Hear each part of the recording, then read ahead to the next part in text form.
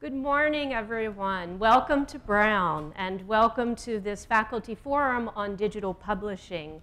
My name is Allison Levy. I'm digital scholarship editor at the Brown Library, and I'm joined today by Professor Shahzad Bashir, uh, who is Professor, uh, Aga Khan Professor of Islamic Humanities here at Brown and Professor of History and Religious Studies.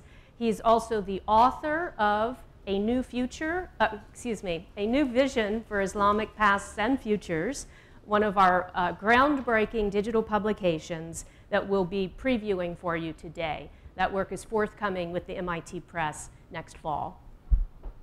But first, I'd like to tell you a little bit about digital publishing here at Brown. The Digital Publications Initiative is a collaboration between the University Library and the Office of the Dean of the Faculty. It was generally launched with support from the Andrew W. Mellon Foundation in 2015. The initiative promotes innovative faculty scholarship by catalyzing both the practice and the academic recognition of new scholarly forms. Taking full advantage of the digital environment to advance scholarly arguments in ways that could never be accomplished in a conventional book whether through multimedia enhancements or innovative navigation uh, systems, Brown's multimodal born digital works uh, create exciting new conditions for the production and the sharing of knowledge. We partner with leading scholarly publishers to ensure that these groundbreaking works by our humanities faculty uh, are validated via rigorous peer review and disseminated to the broadest possible audience for the greatest possible impact. A new grant from the National Endowment for the Humanities will establish a training institute for scholars from a variety of institutions, uh, disciplines, and backgrounds who wish to develop innovative born digital scholarship but lack the capacity and resources at their home institution. And that uh, institute will run here on campus next summer. Brown's initiative is widely recognized as accessible, intentional, and inclusive, and we include students in all aspects of project development, allowing undergraduates and graduate students uh, the opportunity to learn from faculty authors, from digital humanities librarians, from digital technologists and designers. And of course, we learn so much from the students. They are critical to the work that we do in the library. So in sum, Brown's Digital Publications Initiative is helping to set the standards for the future of scholarship in the digital age. We currently have 11 projects in our portfolio. Uh, the first, Furnace and Fugue, was published uh, last summer by the University of Virginia Press. We have two projects forthcoming, uh, Professor Bashir's work with MIT and a work coming uh, out with Stanford University Press uh, on virtual realities by Professor Massimo Riva. Uh, we have eight other projects that are in various stages of development. We support authors at all career levels, uh, and this slide highlights uh, several of our early career faculty who are participating in the initiative, uh, and also a visiting professor, Renee Ater, an expert on uh, monuments to slavery, who chose to spend time with us here at Brown precisely because of our um, expertise in digital publishing. Uh, and then the last two projects uh, on this list uh, are uh, new in-house publications um, that we've embarked upon in the last year. Uh, the first is a digital second edition of the Slavery and Justice Report, that landmark study that came out in 2006. We'll be releasing a revised and expanded edition next month, so please stay tuned for that. Uh, and we developed a teaching edition for the first readings program. So the incoming classes, uh, 2021 and 2020, uh, were assigned that, that reading in that digital format. So our students are engaging with, uh, with our digital publications, uh, not just as contributors to developing the work, but now as readers, as our primary audience in some cases. Uh, and we also have been working with the Center uh, for uh, the Study of Race and Ethnicity in America and the Provost's Office to develop a multi-volume uh, digital publication series that builds upon the, the very timely uh, and important panel discussion series on race in America that began last academic year and will continue through this year. Uh, so I think at this point, I want you to take a deeper dive into one of our digital publications, and of course that is Professor Bashir's work, so I will turn this podium over to Shahzad. Thank you.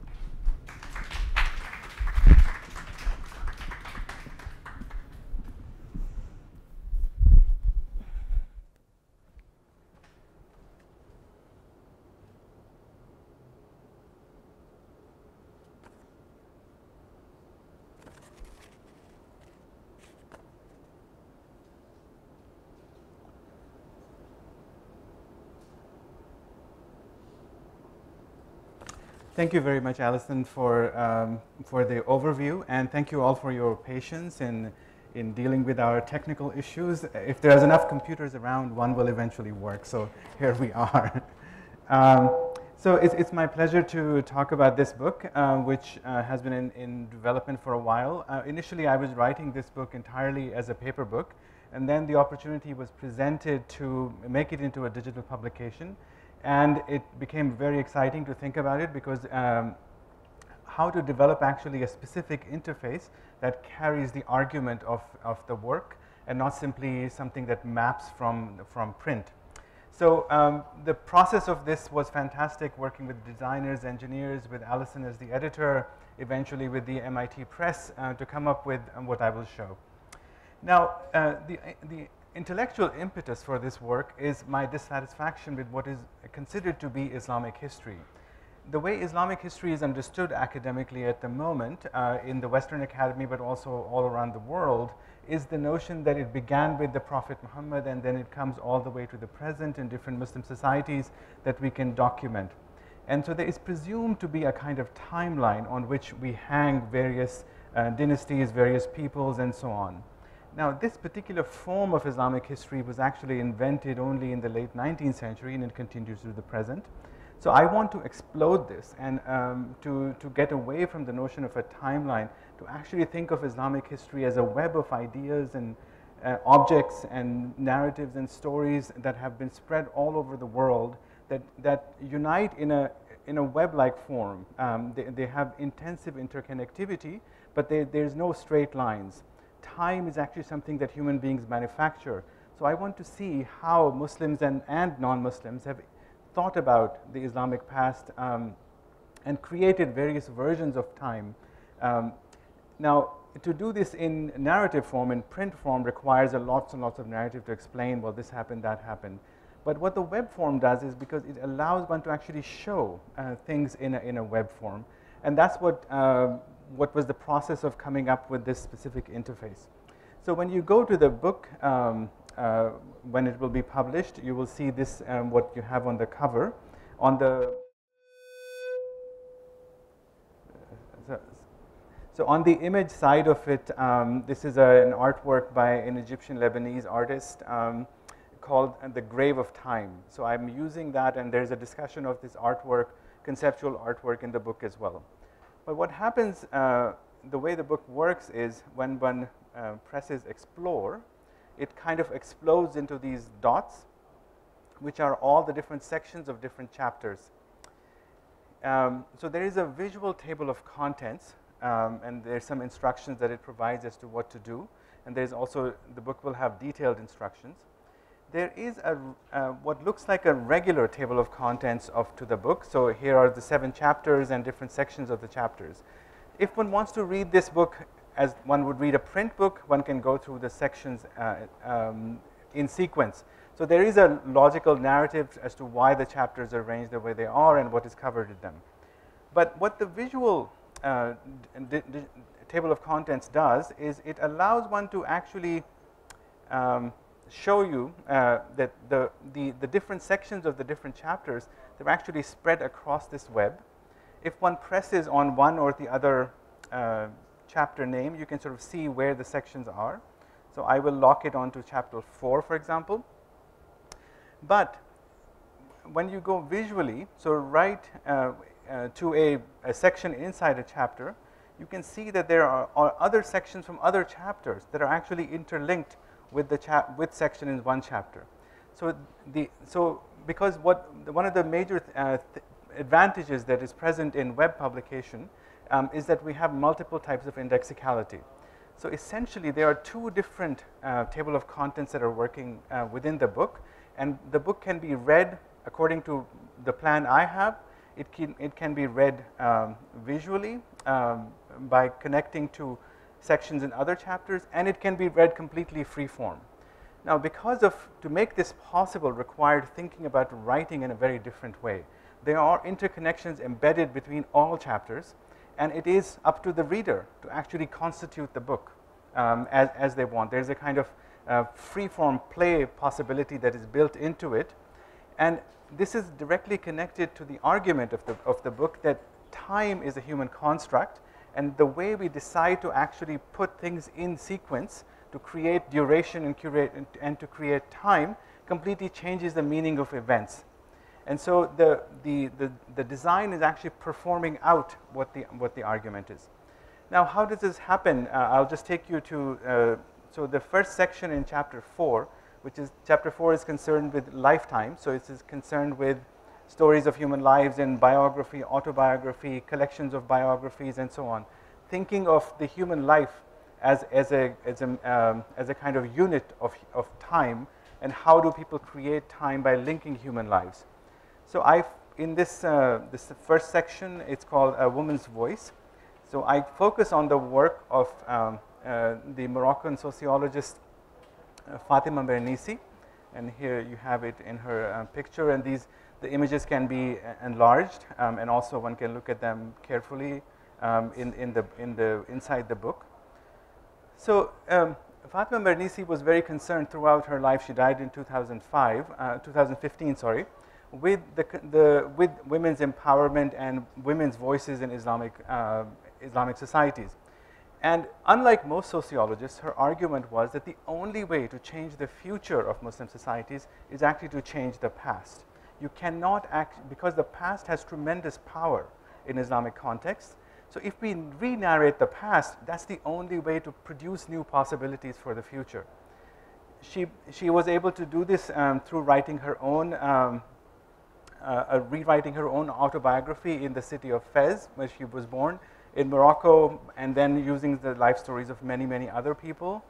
Um, um, she was also very interested in uh, kind of bringing out pasts that have other viabilities. So here, um, this is a cartoon that comes from a 1931 publication in, in Egypt where these are two feminists who are being chased by Egyptian politicians. So there is a long history of feminist um, kind of activism uh, in Arab societies, in Muslim societies that she was very concerned with.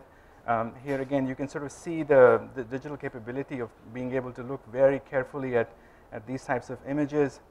She was interested in the pre-modern past. So here is a, for example, she has a long discussion of a, a queen uh, by the name of Razia Sultana, who was a sovereign uh, in a Muslim sovereign in India in the 13th century, and these are coins that were actually minted in, in her name as, as the sovereign. Um, um, so ultimately, what I do in this section is to, to excavate and to present the thought of Fatima Mernissi, uh, both in her own context, but also what she wanted to do with the, with the Islamic past.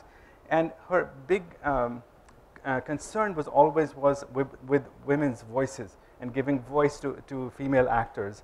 Uh, so this is just a mural that is from the city of Casablanca in, um, in, in, in, Morocco, um, which again, the, the presence of women has to be noted and made historically relevant uh, throughout.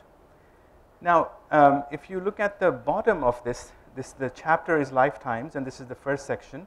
The other sections of this chapter go to very different parts of the world. They go to, um, to India, to uh, medieval Spain, to um, uh, stories of the enslaved Muslims in Americas, in Brazil, in the United States, um, and also to the birth of Indonesia as a nation in 1949. Um, so what I try to do is to show how life, human life can actually be thematized in very different ways coming from Muslim context. But if we go, so there's one way to read it uh, through lifetimes, but if we then go to the, back to the, the visual table of contents, and here is chapter 4, here is woman's voice, we can go to sections that are uh, interrelated, but they're not in different chapters. So I'll go to this um, section called life stories. And here I'm interested in uh, looking at the life of a, a woman who's uh, recorded in history, in who in the story in the, in the historical sources in 1882 in the city of Esfahan in Iran, a young woman had um, acquired a, very terrible disease of the eye. And as she was very bereft from this eye, and, and, the doctors basically said she was going to go blind, someone suggested that what she should do is to listen to the, the story of the pain of um, the Prophet Muhammad's uh, grandson Hussein when he died in the year 680. So she, she was asked to think about and actually um, interact with the story of Hussein's death 12 centuries before her, her, own affliction. The idea being that by participating in that pain, her own pain would be diminished. So the historian says that she uh, was listening to this, and as she was listening, she went into, she fell asleep. In the sleep, she had a dream in with, when the Prophet's uh, grandson Hussein came back to her, and he uh, talked to her in the dream and touched her eyes. And when she woke up, she had been completely cured. So the past is a kind of remedy, the way the story is presented. Now, beh behind this, uh, this is just a, an image of a, a, an album from from the same context where the story is coming from in 19th century Iran. These stories um, of the Prophet's grandson's death, they are they're, uh, presented in narrative form, but also in pictorial form. There's a type of painting that is used in Iran called the coffee house painting, in which you can see this very complex painting in which the whole life and death of Hussein is represented. These, story, these paintings were used to tell the story of the Prophet's, uh, the, the Hussein's death. And so they, this painting is reflecting the world within which the story of the woman's healing um, comes out. Now, this, um, this story of Hussein's death has remains tremendously relevant. So here is a poster that we can find on the website of um, Ayatollah Khamenei, the, the grand leader, current grand leader of Iran, and, and where Hussein's death is this grand event that has something to teach all human beings. Um, and so what I'm trying to show with this is how a story is connected to these webs of, of, uh, of different types of meaning that are created in various, um, various Muslim contexts. Now, if we go back to um, the visual table of contents, go again to uh, chapter 4, and here's the woman's, uh, woman's voice. This was, I just talked about life, uh, life stories. And if we go to events relived, which is in a different chapter, chapter 1, there I take up the, the notion of the date of Hussein's death, which is the 10th of the first uh, month of the Islamic calendar, which is referred to as Ashura. Now, this date is celebrated across the world in Muslim context in many different ways. So I want to show that, that the date is fixed, it happens every year, and it repeats itself. What happens on that date around the world is radically different. So I take the reader through um, what happens in a city called Kudus in Indonesia, where there's a celebration happens, and there's no mention of Hussein at all. The date matters, but the meaning has been transposed to another descendant of the Prophet in this case. Um, in other places, uh, in Bahrain, for example, here you have an image of uh, redemptive suffering where people will hurt themselves in order to participate in, the, in, in, in what happened to Hussein and to, to really relive his pain. Uh, in Iran, uh, huge um, um, uh, processions are held in which there is a kind of um, uh, a coffin of Muhammad of Hussein that is presented and, and that is paraded through the streets. Um, similarly, this is from Kolkata in India, where again there are processions and Hussein's um, uh, horse that is uh, brought back to to kind of representation every year, and the procession actually relives the, the death of Hussein. So the meanings and the, their interrelations, but the, each one of these cases actually presents a different, um, different world within which the meaning takes place. Um, I then uh, look at this is a video of um, a group of three sisters that uh, recite um, uh, stories, uh, poetry in Urdu, um, which is a North Indian Pakistani language. Um, about the death of Hussein. There's a particular genre of poetry that is used. So we have the video of the, of the recitation and also a full translation. And the key thing in the poem that I chose for it is, is trying to understand the pain of the mothers of the people who were killed um, at the time of Hussein's death. Um, then we go further. Uh, uh, in the 19th century, large numbers of Indians from North India were transplanted to the Caribbean as indentured labor. They brought their worlds with them, and uh, in Trinidad and Tobago, there is a uh, festival that happens on the 10th of Muharram every year called Hosay Trinidad. Um, this is an interesting thing because it's partly about Hussein and it partly it becomes um, actually a, a carnival, a, a, Caribbean carnival. In this, all kinds of people participate, not just Muslims, but Muslims, Hindus, Christians. There's a drumming contest, as you can see here. Um, there's also uh, uh, a procession in which these two moons are presented, one in red and green. These are uh, representations of the two grandsons of the Prophet who are celebrated in Trinidad in an entirely different uh, way. Uh, further, um, there are people who have come up with the idea that Hussein's blood can be commemorated by giving blood.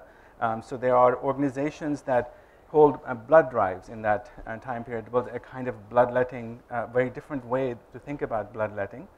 But at the same time, it's, this day is also can be a day of great violence. Um, so this is a photograph of um, from Afghanistan, uh, where on the 10th of Muharram, a mosque, a Shia mosque, is actually bombed, and this man is um, is grieving at the um, at uh, at the grave of his daughter.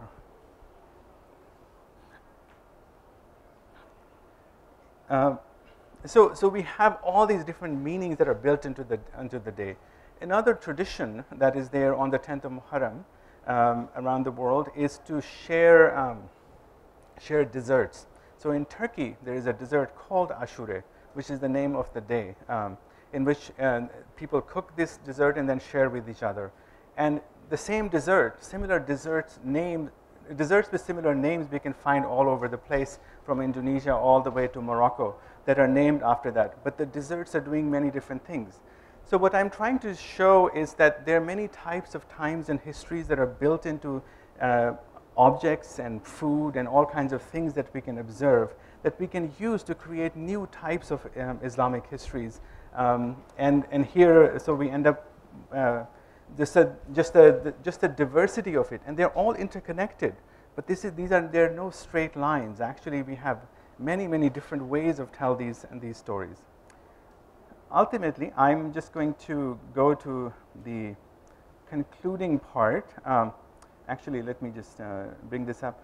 So what I've shown you is materials from only three sections. There are 42 sections that go all over the world uh, and show all kinds of different things, uh, from films to images to narratives, uh, anywhere from the 8th century to the present to contemporary reality shows, for example, in which Islamic history becomes an interesting thing my ultimate aim in all of this um, is kind of, I, I, will just leave at this uh, quotation, is that history matters. Um, and the reason history, uh, the past actually matters, th so the way we uh, choose to tell the past is actually an ethical decision on our part. What I am trying to do with things Islamic here is actually not specific to Islam at all. One could take all, any kind, other kinds of uh, data, any other kind of connected uh, world, in which one could do very, very similar types of things. Um, but which stories we decide to tell um, makes a huge difference. And the digital format, uh, because it makes it possible to actually show things um, and bring in various kinds of audiovisual materials and to show and to perform the kind of multiplus uh, connectivity that is possible in, if we think about history as a web rather than a straight line, um, this is only possible in digital format. For, and this is the reason I'm immensely grateful to Allison and the Digital Publications and in Initiative at Brown to make it possible to reimagine things um, uh, in this way in humanities scholarship. Thank you. Okay.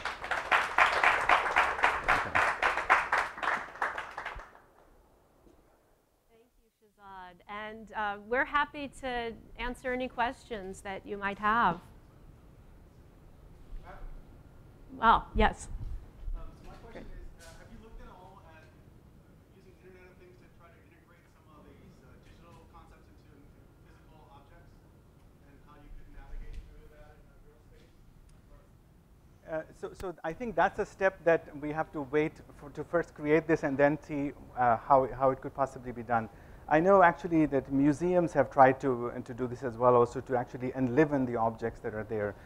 So I think the, in, in a way, uh, this is the kind of the first step we are taking on creating the world and then um, it's, it's, we hopefully look forward to actually taking the next steps to, to go into the Internet of Things actually, not, not just images.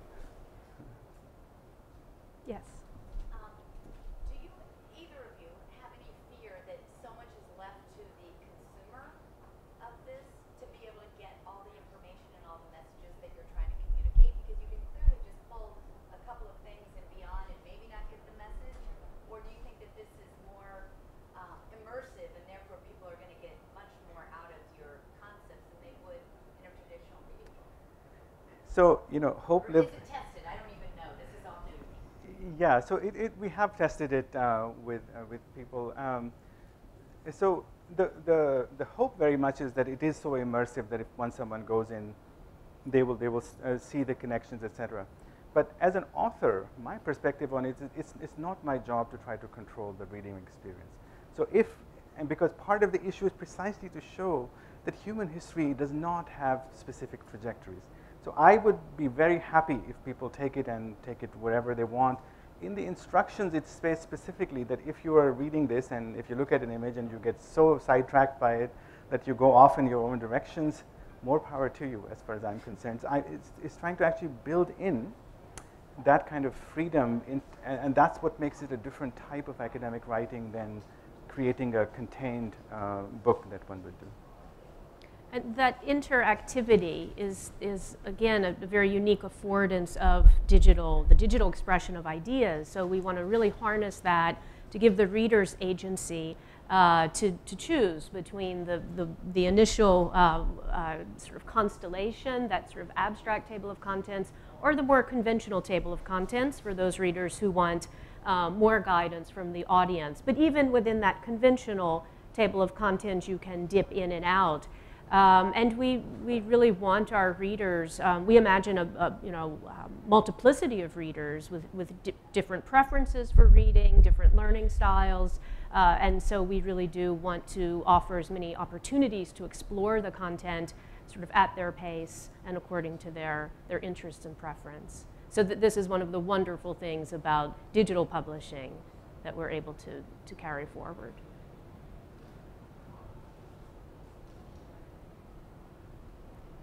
Yes, in the back and then here. So how do I get this? So uh, good question. No, so it, it's in the process of being copy edited and, and f- the design is finalized. It will be published in 2022, somewhere in the middle, and it will be published open access worldwide free, I completely. can commend you for your work. I think this is fascinating, especially in the world of internet. And you have the, uh, you have the depth of a, of a book where you learn something, as well as the interactions of the internet. It's Yeah. wonderful.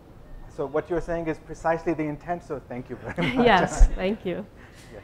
Uh, and we should start to see um, the book promoted through the MIT Press website, uh, probably the January about, as soon as we move through the copy editing phase. But it is now um, in production with the press, so this is the final stage of several years of thinking and developing and innovating. So that was my question also, how, how would we obtain the book? I also have a question, um, how did you, were you very well immersed in doing uh, digital um, writing before, or, uh, and, and or did you have to train yourself to, to learn all these new um, technologies? So, so that's a fascinating question, a question that I've actually had to think about myself, looking at myself as from the outside. Um, I think where the, the initial really comes from teaching, because the teaching has radically changed over the past 15 years uh, in the classroom, and they're uh, finding these resources that have become available, that have become fairly normal. Carrying that into uh, academic prose and academic, an academic object like this was a huge learning experience. So what I had written about this book already had to be completely rewritten um, and working with the designers, because a lot of the time the designers came up with ideas that made me rethink how to actually present, what to say. Uh, a very different economies of, of the relationship between image and writing have to be done in this form as compared to regular writing. So I've been kind of gradually uh, retraining myself to be able to uh, be able to do it. Um, That's great. And just one other thing. I love the idea of the concept map that, you know, all these, like, one can actually extend to all these different projections and then how you enable other uh, chapters to kind of be compared. Like, you know, I often read something, it's like, oh, I saw this in another chapter. I don't remember where this was. And now that you're actually able to connect, I think that's really Yeah, actually, something that is uh, we are in the process of incorporating that will come up is that there will be actually a third way of dealing with all of this, which is there's going to be just the images. If you want to ignore the text and just see uh, the 290 visual elements that are part of the book as another way of um, accessing, and from there you can go to the text. And so we've tried to build in multiple pathways um, of accessing this. And thank you. Before I turn it over to this gentleman, thank you for your questions. And I wanted to follow up too about the support that we offer our faculty authors. Um, we have a very well established Center for Digital Scholarship uh, in the library, and so for decades, uh, CDS uh, has been innovating um, and really, um, um, really leading the way in digital scholarship, but the digital publishing part is new uh, for everyone.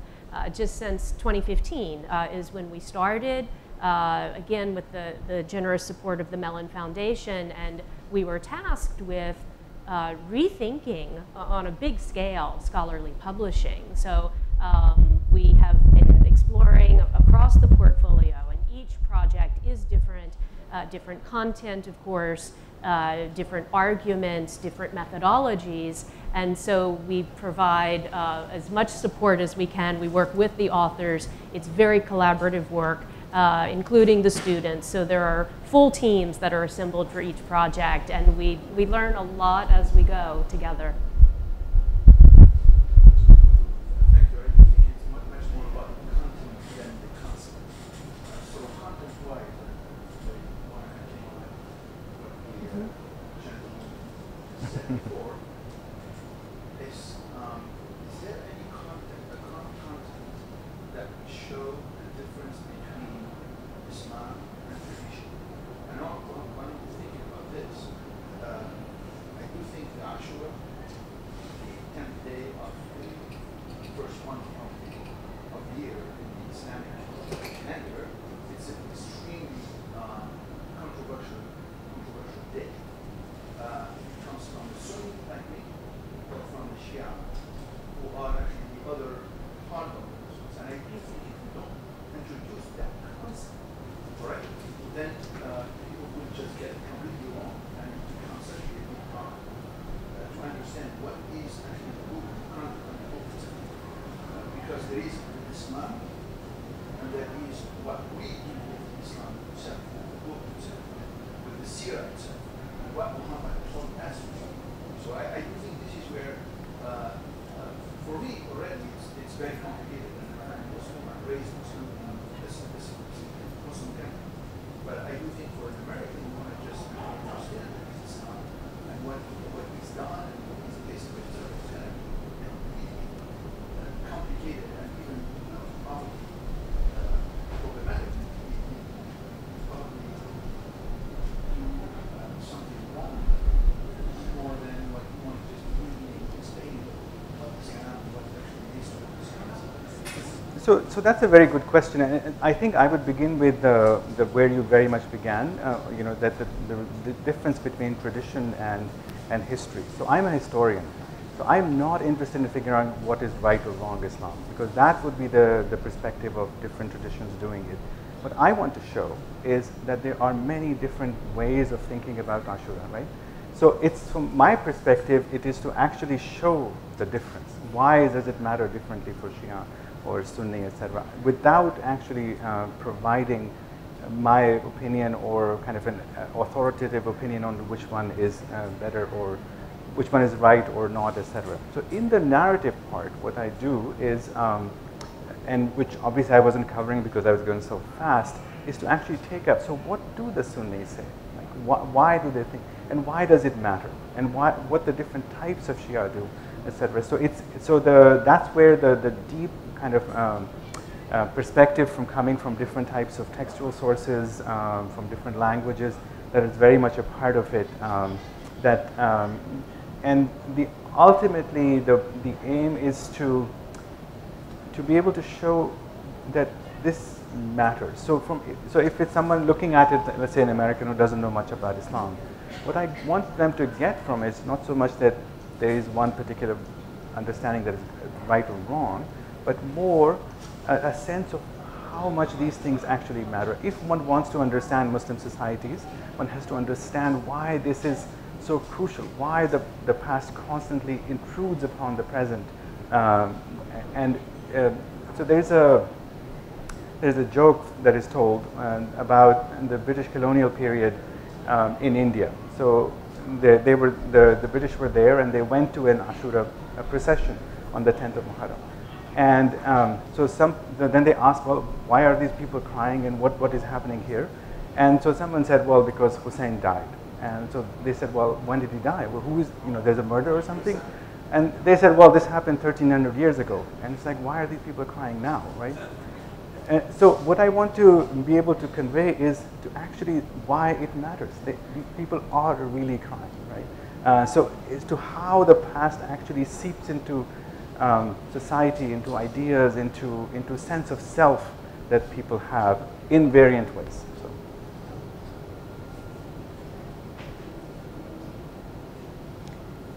Any other questions? Sure. So another one that maybe um, to the work you're doing. Mhm. How are you getting? I, I know you have a digital um, scholar listings, but how are you getting professors, academics here to become more involved?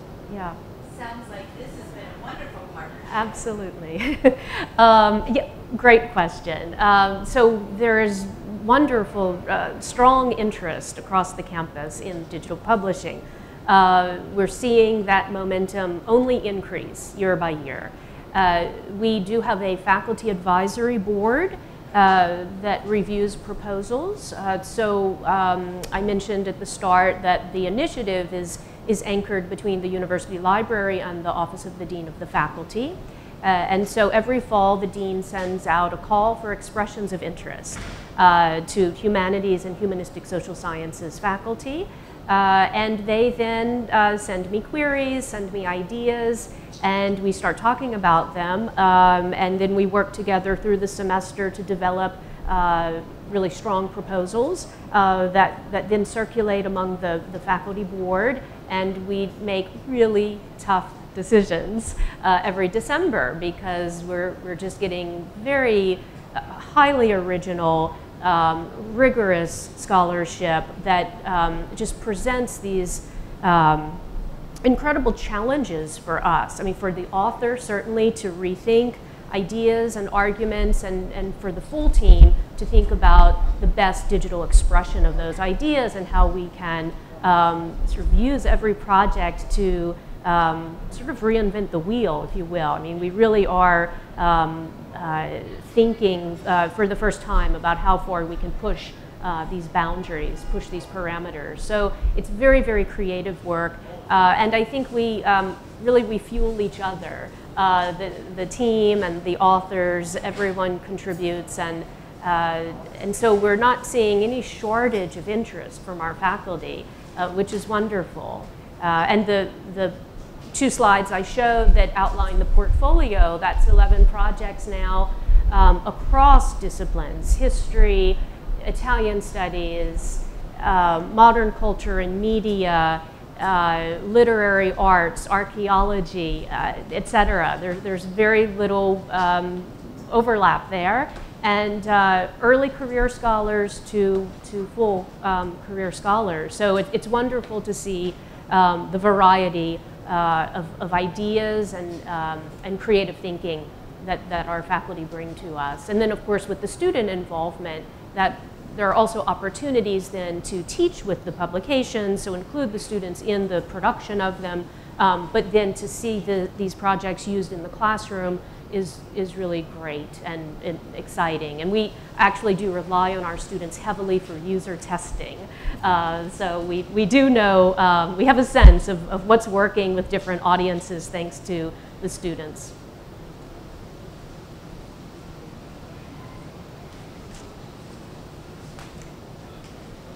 Well, thank you all for coming. Uh, again, uh, thanks for your patience at the beginning. And please stay tuned. Uh, we will be bringing out more projects every year. Thank you very much. Thank you.